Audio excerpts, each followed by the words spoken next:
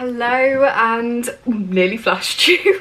Good start. Hello and welcome back to my channel. I'm filming a little bit of a different video today because I'm not gonna lie, I've just absolutely failed at weekly vlogging this week. I submitted my dissertation last Thursday and ever since my energy, my focus, my motivation, everything has just gone very downhill. So I'm feeling a bit out of it altogether, which isn't great because I do have exams starting next week, but I just needed a few days to recuperate and for the adrenaline to wear down because I think without realizing for the last few weeks while I was finalizing my dis, my body was literally in like fight or flight. And I knew that because I wasn't really sleeping at night very well, but then the adrenaline was basically keeping me going during the day. And then as soon as I submitted after a day or so, of course that all started to wear off.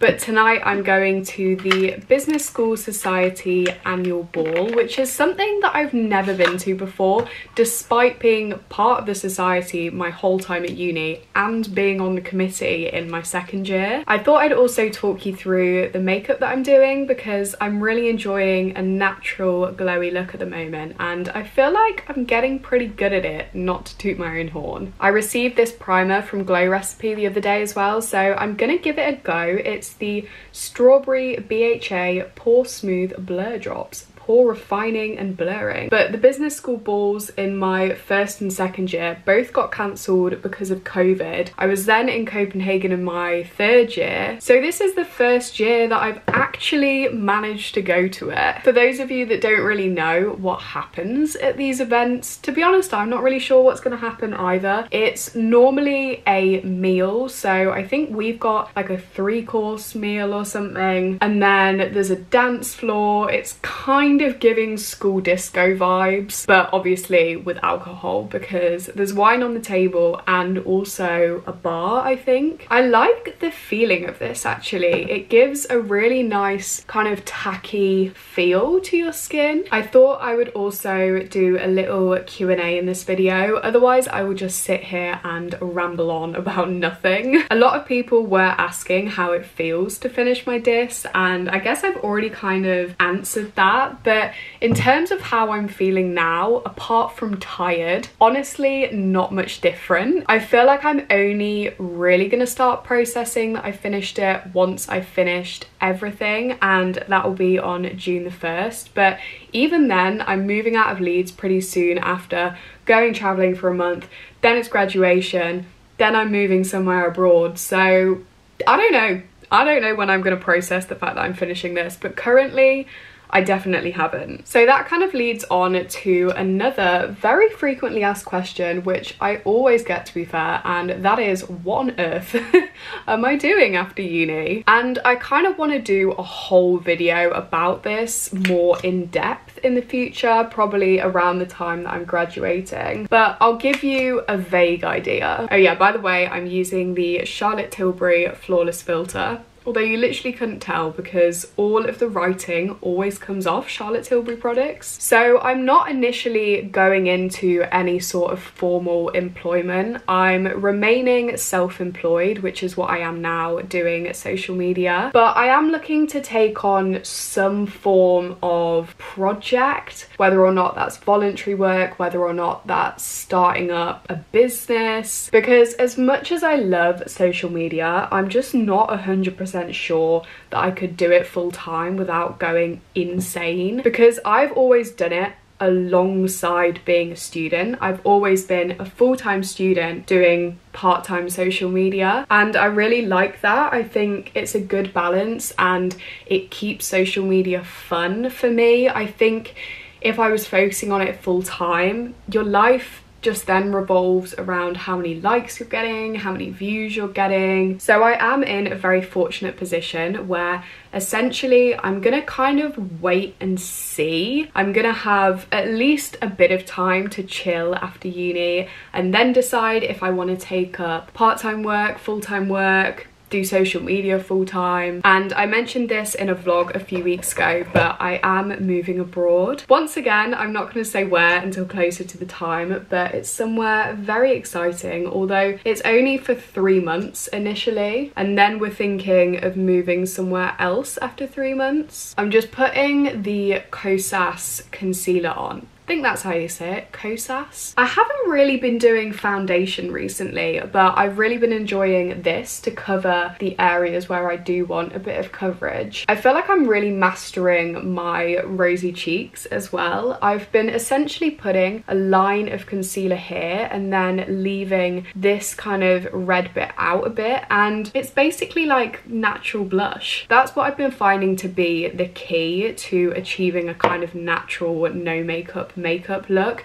you want to make sure that some of your skin is still showing. So for me, that's been kind of this area of my cheeks. And also I really don't put a lot of product on my forehead. Once again, leading on from that question, I thought this was a really interesting one. So Olivia asked, do you think being in a relationship has had a big impact on your decision making, especially thinking post-graduation? And I don't think that this is something people really talk about that often, but it definitely does make a difference because if you're planning planning on moving in with that person after uni or just staying with them, I guess, in general, you do have to come to some sort of decision on what you're going to do. And it's likely that in some way that is going to be a compromise because I was thinking, what would I have done actually if I wasn't with Sid? And I think honestly, I would have moved straight back to Copenhagen, which I do want to do at some point again. But I think Sid has kind of pushed me out of my comfort zone but in a good way after uni. You know, we're doing something that's definitely not the most comfortable option for both of us. It's definitely not the safest option, definitely not the easiest option. We're both going to be self-employed, living somewhere abroad, and I feel like if it wasn't for him, I would probably seek the safety, I guess, of going back to Copenhagen or moving somewhere familiar like London or Manchester. Does anyone remember that I used to film this kind of video all the time when I was in sixth form and I would always spill the most tea in them for no reason and it would always come back to bite me in the butt as well because obviously people that I went to sixth form with watched the videos. That is something that I feel like has changed a bit over the last few weeks. I do find myself getting quite nostalgic and quite sentimental. The day that I handed my dissertation in, I spent a good few hours watching my A-level exam vlogs for some reason. I think maybe because that was the last life stage that I completed, if you know what I mean. So it was really interesting to compare the person that I was back then to the person I am now. And it was also quite reassuring because a lot has changed since then in a very good way. Like when I was watching those vlogs, I'm so insecure. I was getting so upset over things that really didn't matter in the grand scheme of things. And I don't think I was very happy to be honest. Whereas I feel like now I'm really finishing uni with a good sense of self, especially in final year. I mean, I've spoken about this so much recently, but I feel like I've really started to put my foot down and prioritize what makes me happy and not what I think I should be doing or what other people are doing. Oh yeah, I completely forgot to say, I've just put the Milk Makeup bronzer on and you might have noticed that I use it in a slightly strange way. I prefer dabbing it because if I swipe it, I find that it moves everything under it. But something that's also made me so sentimental recently is the amount of you in the comments of my dissertation TikTok or my reels saying, oh my god, I've been here since your GCSEs and now look. And that is crazy to me because I've been doing this for six years now. Like it was my six year anniversary on YouTube a few weeks ago. And the fact that some of you have been there the whole time is incredible. Like I really feel like you guys are my friends because you have really seen me go through all of it. But also it does make me kind of sad that this era, I guess, of my social media is coming to an end because I don't know what I'm gonna do afterwards to be completely honest. I would love to still make content, but what on? I'm not sure yet. And lots of people ask like, are you doing a master's? Are you staying on for further education? And there's part of me that almost wants to just so I can keep this stage of my life going for longer and you know, I can be a student content creator for longer, but I just don't feel like that's the right reason to be doing a master's. Like it's gotta be something that I'm passionate about, especially because they are so expensive. Okay, moving on from talking about dissertation and uni stuff, someone asked why have you gotten into running? As much as I do love the glowy makeup look, I'm gonna set my face a little bit with some Laura Mercier powder because otherwise I do look so shiny. I'm just gonna put some under my eyes here. Ooh, we are looking crusty in that area. Okay, Glow Recipe I love you, but this product is not working for me. It is peeling my makeup away, kind of. Like, it's gone really patchy, and it could be another product, but I've used all of my products before, and this has never happened. So, okay, brief interlude. Sorry if the angle slightly changed. I just had to go and sort that out. But luckily, I'm running quite ahead of my own schedule, so we've got time. I've just decided that I'm going to set my bronzer a bit with the Charlotte Tilbury Film Star Bronze and Glow because this shade here is quite a good cool toned contour shade for me so it actually adds a bit of shape on top of the bronzer. I don't know why I'm acting like I'm a makeup guru in this video. I don't know what's come over me. I also do not remember the question that I was talking about so hopefully I have actually finished answering that one. Oh wait, were we gonna talk about running? I feel like I was and then I never actually got onto it. Quickly though, before I do, the next step of my routine has recently been brown mascara. Although this one may as well be black, it doesn't really give the subtle effect that I'm looking for. So let me know if you've got any good light brown mascara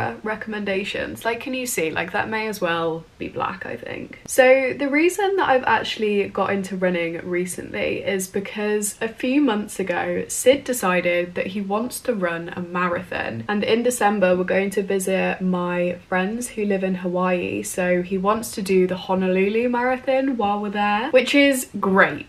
Good for him. But the competitive person inside of me was like, well, if you're running a marathon, I feel the need to do something and I can't run a marathon. I am not a runner. So that was a bit ambitious. However, they were doing a 10k starter race. So you run the first 10k with the people that are doing the marathon. And obviously you'll be at slightly different speeds and whatnot, but it's still the same route at the same time. So I thought, okay, maybe I'll do that. And I just thought it'd be a fun little challenge. Running has been one of those things that I've always said I will get into and I've always wanted to. I just never have for some reason. So this just felt like the perfect time and I never really saw the hype with it before, but since I've started doing it, I get why everyone runs because the endorphins from it are insane. I've never experienced endorphins like it from any other sport. Okay, I'm not sure if I'm gonna regret this and it kind of